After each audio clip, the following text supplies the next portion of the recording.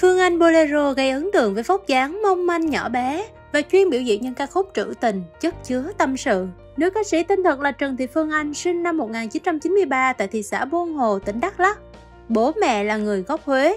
Gia đình cô gồm có 5 anh chị em và Phương Anh là người con thứ tư. Với niềm đam mê ca hát từ nhỏ nên Phương Anh thường xuyên tham gia vào ca đoàn trong giáo xứ quê nhà. Vào thành phố thì cô vừa học trường sư phạm mẫu giáo trung ương, vừa làm việc bán thời gian.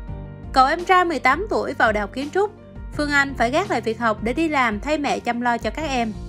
6 năm sau đó, cô mới bắt đầu định hướng cho tương lai và đậu vào nhạc viện. Rồi ngã rẽ bất ngờ đến khi Phương Anh được một người bạn giới thiệu đăng ký tham gia sân chơi thần tượng Bolero mùa đầu tiên. Phương Anh đã đoạt giải áo quân của cuộc thi vào năm 2016. Vừa qua, tại lễ trao giải Mai Vàng năm 2022, Phương Anh đã được vinh danh ở hạng mục nữ ca sĩ được yêu thích. À, Phương Anh xin gửi lời chào đến à, tất cả quý vị khán giả đang xem chương trình ạ.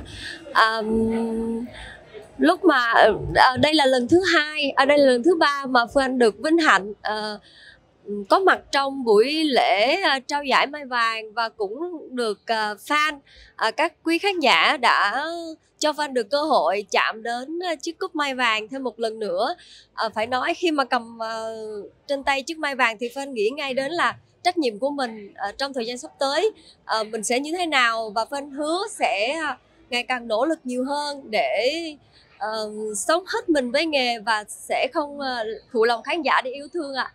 Xin cảm ơn rất nhiều và chúc cho mọi người một năm mới bình an, sức khỏe và hạnh phúc ạ. À.